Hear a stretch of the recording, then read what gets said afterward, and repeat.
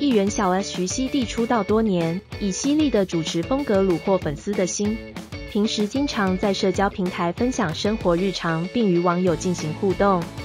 十八日，小 S 在 IG 更新动态，贴出了一段练习羽球的影片，并在文中写道：“跟万教练上羽球课，他真的很轻松诶，气死我了。”同时还附上一张戴着黑框眼镜的自拍照。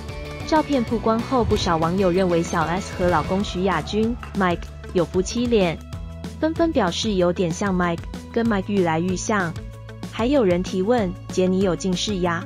小 S 也大方回应：“对啊。”还有老花。值得注意的是，连羽球借球后戴资颖也前来留言，直呼姐好强。